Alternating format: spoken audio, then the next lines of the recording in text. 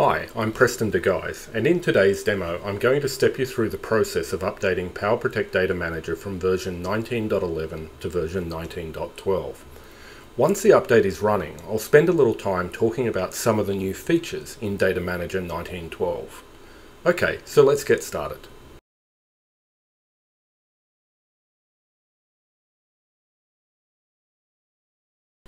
I've already downloaded the update package from the Dell support site, so I'll go to the settings menu and choose software update.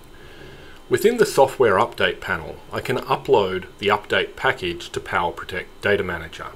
Now the upload may take a few minutes depending on your network connectivity and note that some browsers may not support uploading files larger than 2 gigabytes, so Microsoft Edge or Google Chrome will be the best here.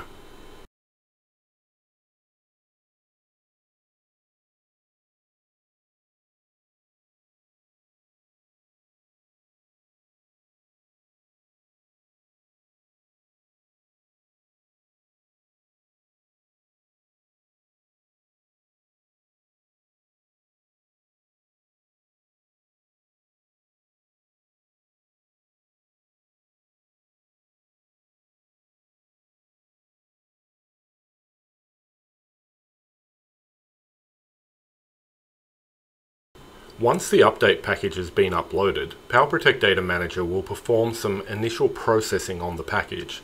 This processing has to complete before you can proceed with the update. Now, you don't have to stay on this page while the processing takes place. Instead, you can cancel the software update screen and come back later.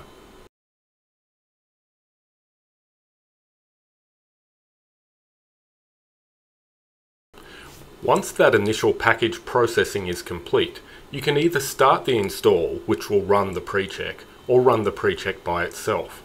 Now the pre-check will let you know if there's anything happening on the system that will either block the update or that you should be aware of before running the update.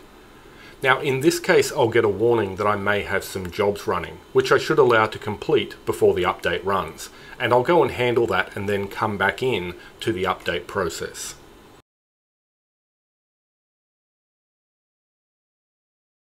Okay, so now I've got my job sorted out and it's okay for me to run the install option. As you'd expect, the install option will run the pre-check again, but this time I'll be okay to proceed. Once the pre-check is complete, I'll review last minute information and agree to having a snapshot taken of the data manager environment before proceeding to accept the end user license agreement and starting the actual update. Now the snapshot is taken at the start of the process so that it can roll itself back if there are any issues during the update.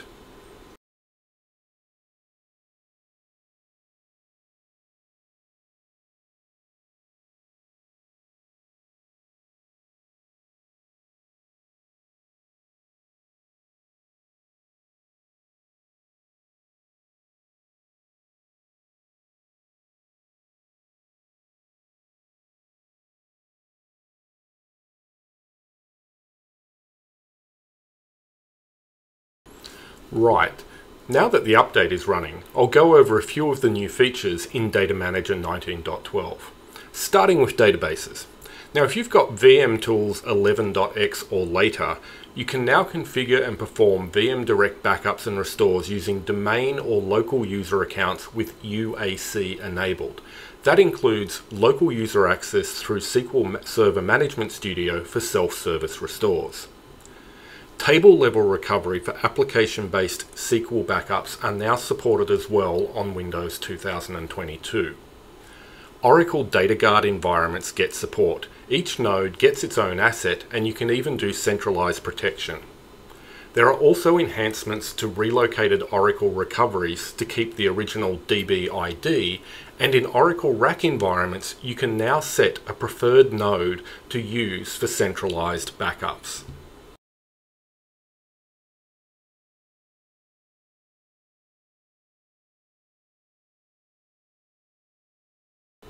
Integration with SmartScale continues apace, with support now available for preparing Data Manager for a mobile storage unit to be moved between system pool members. While I'm talking PowerProtect DD, Data Manager now supports retention lock compliance mode in addition to governance mode which has, it has supported for quite some time. The vSphere bundle installation process supports concurrent updates for up to 25 ESXi hosts now, and has some efficiencies added for when the VIB is uploaded based on shared data stores.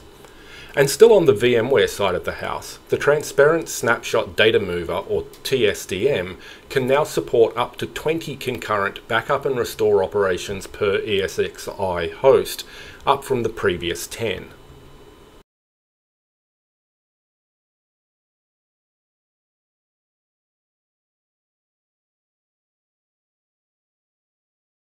Networking in PowerProtect Data Manager gets some enhancements as well, including options to change the default DNS search domain and configure additional DNS search domains. And IPv6 is supported now by the Data Manager Core, application agents, and virtual machine backups as well.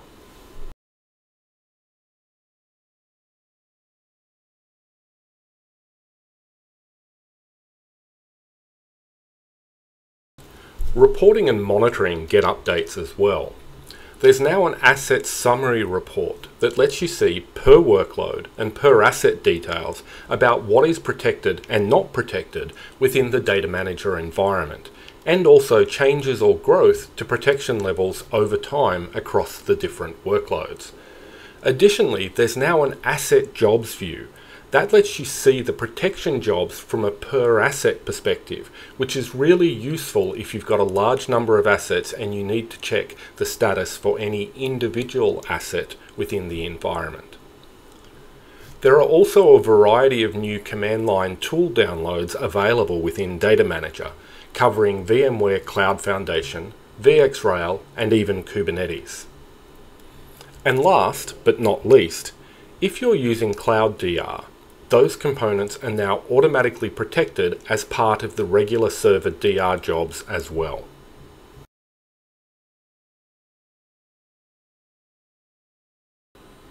And with that, the PowerProtect Data Manager instance has been updated from version 19.11 to version 19.12.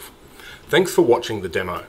For more details on PowerProtect Data Manager and other Dell Technologies data protection products, be sure to check out my blog over at https nsrd.info blog. Thank you.